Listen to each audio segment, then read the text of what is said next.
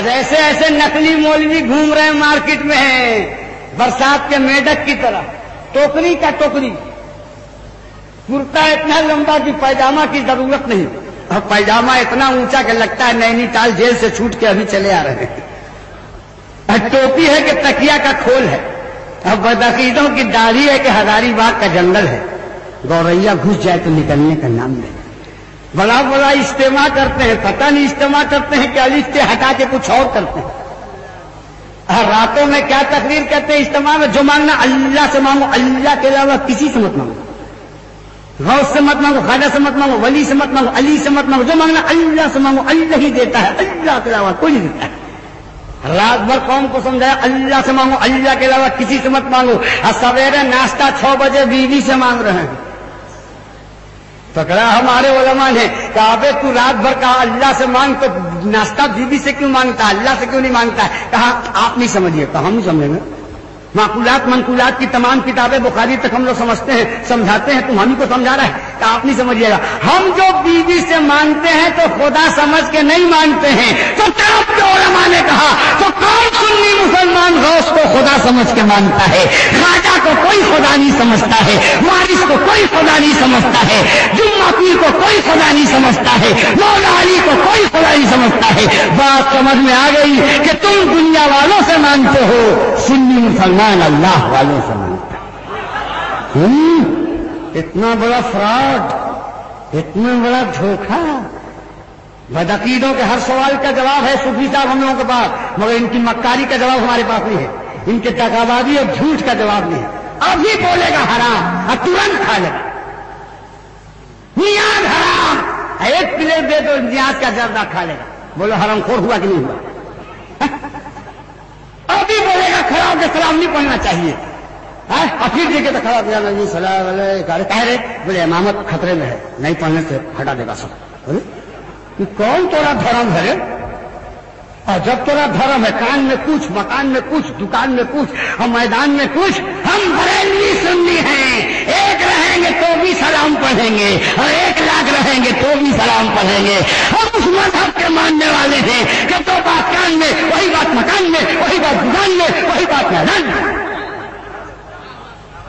सीधे साधे कुछ मुसलमान है, कहते हैं, मौलाना साहब काफिर को भी काफिर नहीं कहना चाहिए, हो सकता है आखिर में मुसलमान हो जाए। अच्छा? तब तो मुसलमान को भी मुसलमान मत कहिए, हो सकता है आखिर में काफिर हो जाए। हैं?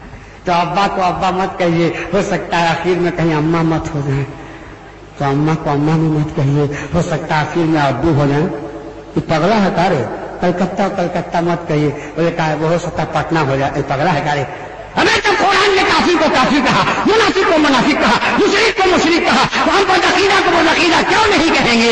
दो रंगी छोड़ दे एक रंग हो जा सरासर मोम हो जा सब हो जा। इसलिए अमल की इसलाह भी ज़रूरी है लेकिन अमल के साथ अकीदे का इसलाह भी बहुत ज़रूरी है। तो मैं अर्ज़ कर रहा था कि अब तक तो मैं इसलाह आमाल की गुफ्तगू कर रहा था।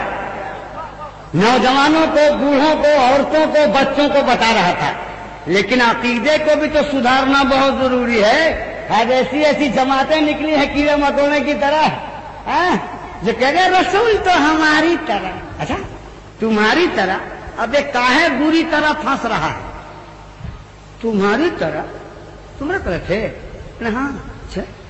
तो वो तो बुलाए तो सूरज चला आया। तुम बुलाओ तो बिजली नहीं आती है। फिर तो थे? मुस्तफ़ा बुलाए तो डूबा हुआ सूरज पश्चिम से चला आया। और तुम बोलाओ तो बेटा नाव में बोलो। वो चले तो कायनात चले। और तुम चलो तो तुम्हारा खानदान न चले। बोलो। तुम्हारे तरफ़ है। अरे वो थूक दे हज़रत अली की आँख में तो आँख की बीमारी ठीक हो जाए।